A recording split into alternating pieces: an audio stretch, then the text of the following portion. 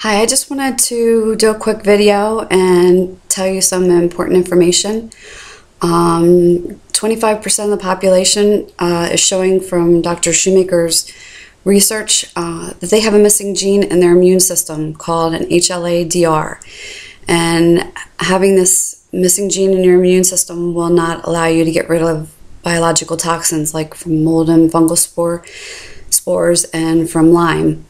And um, it's important to know when you're healing uh, from mold illness uh, if you have this genetic issue.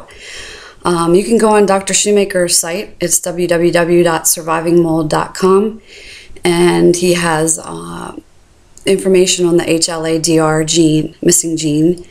And there's also a chart on there after you get the blood work done. There's a chart on there that explains uh, which you can see which missing gene that you have. Some are a little worse than others um, and harder to heal from.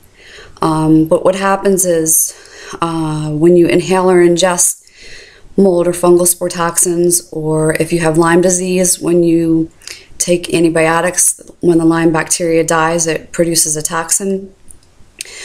This part of the population, this 25% of the population that has this missing gene, are not able to get rid of the toxins from from these from mold or fungal spores or from Lyme, and you need to be on a toxin binding medicine. Um, what happens is your body starts to react um, when you inhale or ingest or are bit by a tick. Um, your body starts to notice that it has a foreign invader in it, and it starts to produce an inflammation response in order to get rid of uh, the foreign body. And uh, this inflammation response doesn't shut off. And then you get depleted of things that you need, like one thing that you really need is um, something called MSH level.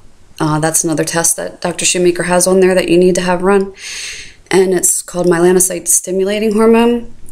And you need this for a lot of reasons. And um, if you go on his website, uh, it's got some great information on there. And um, I just thought it was really important for people to know because 25% of the population has this and they don't realize it. And um, they could be getting treated for symptoms um, and not being actually treated for what's causing the issue with their health problems. So, thanks for listening. Bye.